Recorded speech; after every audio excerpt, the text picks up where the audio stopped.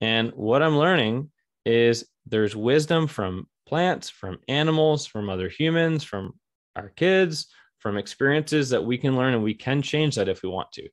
So fast forward now, I'm doing this kambo. I have these burn marks, these literal burns on my shoulder. They burn you in a couple spots and they basically, the medicine woman like swabs you with this frog poison first three minutes, she's asking me to describe everything that I notice and feel. So I'm sitting cross legged with my hands and I'm just meditating and I'm just paying attention to what I feel in my body.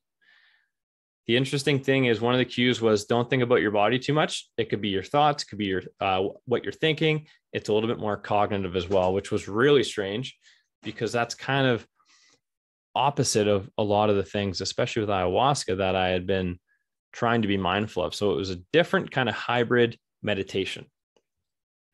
So in this first three minutes, I'm noticing these sensations.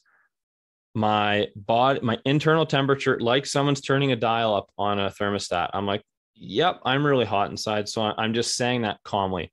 I'm noticing my internal temperature is definitely getting higher. Okay.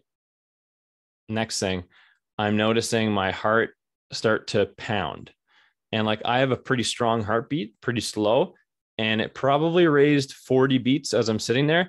And it got to the point, and I'm just sitting there noticing and just trusting that I'm going to be okay and trusting that this is part of the experience.